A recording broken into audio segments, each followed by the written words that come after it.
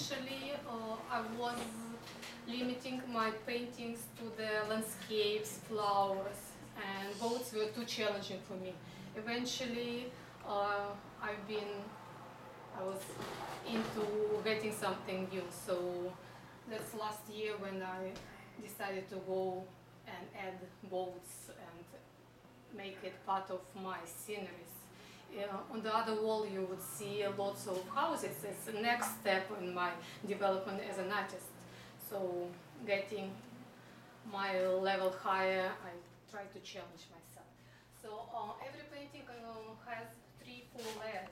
So I start a very rough sketch uh, with the first layer, like 20, 30 minutes. It's uh, rather fast for the size uh, like 20, 24, like you see on this wall.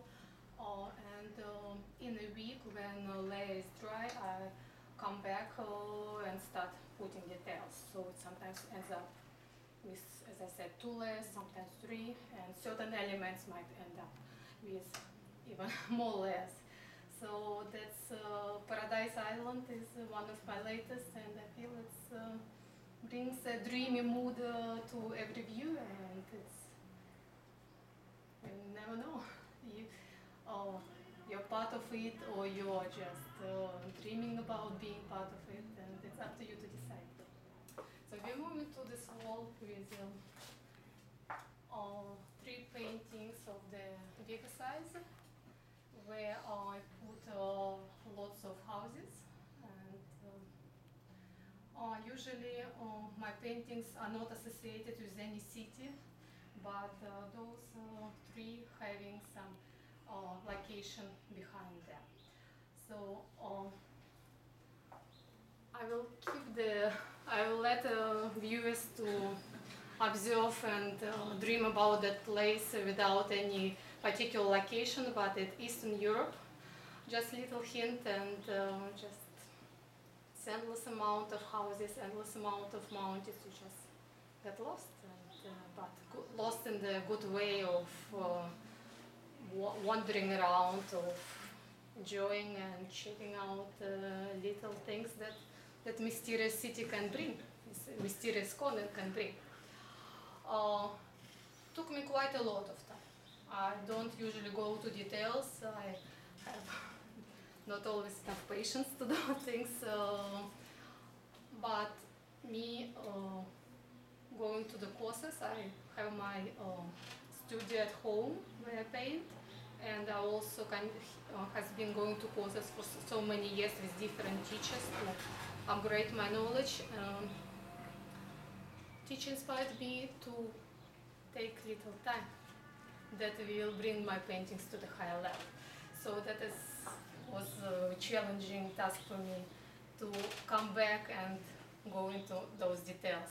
I don't usually paint uh, people, don't usually paint um, cars, but if you careful looking, you might find a couple of cars there. So this uh, second painting is uh, from the city called Colmar in France. So that is the latest, latest, probably one or two months old, still, I wouldn't say wet, but it's very fresh. Uh, so again, mysterious place, mysterious, uh, gorgeous, divine uh, corner of the wall that uh, made me want to visit that city. And I've been asked, I've showed a few people around, uh, not an exhibition, but just friends of mine, and they've been asking, what's the place? They're always asking what part of the country, let me see, and uh, probably they're already planning to visit that city. Who knows? One day my friends will end up in that city and I will be very jealous because I want to visit that city myself.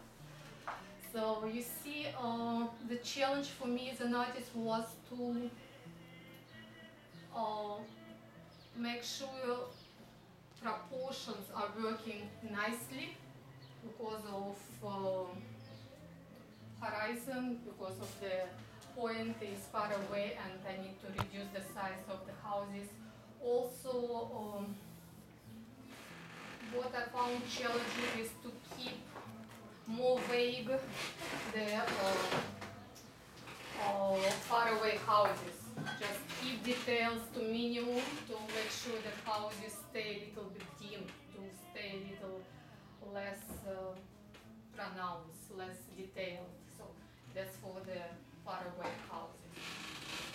So I'm very happy with the result. I hope people will like it and uh, make them dim and make them trap. And we finish with the one uh, that is to the furthest left. It's uh, from Austria, also another European city or country. And um, what I've heard from people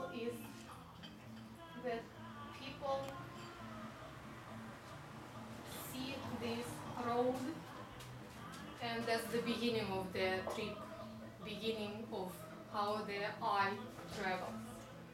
So, and they visually, and me also, even though I've seen so many times still, every time I watch, I start wandering, my eyes start wandering through the this oh, little road that will bring me down, and then I start looking for details, you know, church, water, huge mountain behind, etc. So um, it's one of those paintings that you, me, and I hope viewers would love to come back and relook again. So, so many details, so many little things that might be interesting to come back and have a look. So, um, as I said, my paintings are all about traveling, about freedom to travel, freedom to to everyone to come to the Gallery Fôkus um, that's located at 68 Duluth, East. Montreal East. Um, come and uh, check out paintings, enjoy the delicious food that uh, this restaurant also offers, and uh, for the whole month of uh, May, my painting things will be part of decor, and who knows, probably in a few months uh, I will come back with a new collection. So thanks a lot. Thank you very much. Yes, it's open every evenings, except Mondays.